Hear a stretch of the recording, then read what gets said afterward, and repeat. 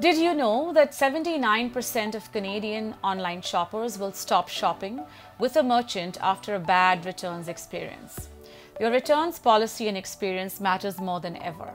In this video on returns, I'm going to show you how to create a returns policy, implement an operational process as part of your overall return strategy, and offer return solutions to your customers that works best for your business.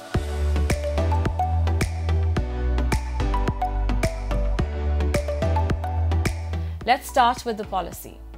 How do merchants create a return strategy that's hassle-free? Make sure it's complete with clear details upfront on your website about your return policy, simple steps to return an item, and convenient options to get it into your hands, either to a store or via your delivery partner's footprint.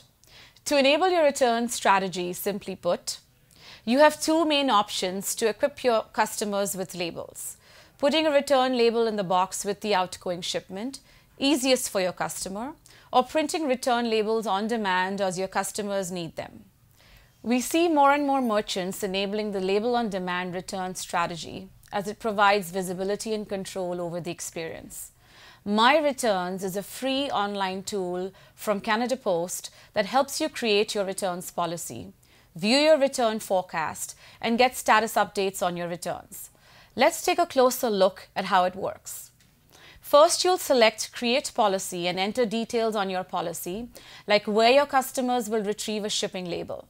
They can get it at a post office, online at canadapost.ca, or both. You'll also select your return authorization options. This can be a helpful option if you want to have more control over your returns via the label on demand approach.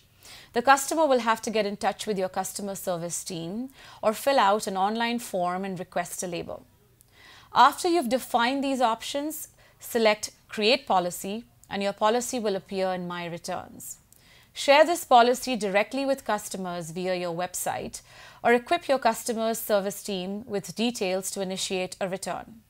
Plus, You'll now be able to print Canada Post return labels and even print them through your e-commerce platforms like Magento. With your return policy set, you're ready to start accepting returns, printing labels, and satisfying customers at this important stage in their journey. Thanks for watching. Make sure to like, comment, share, or subscribe. And if you want to learn more, click the link below to get your copy of our free and in-depth returns guide.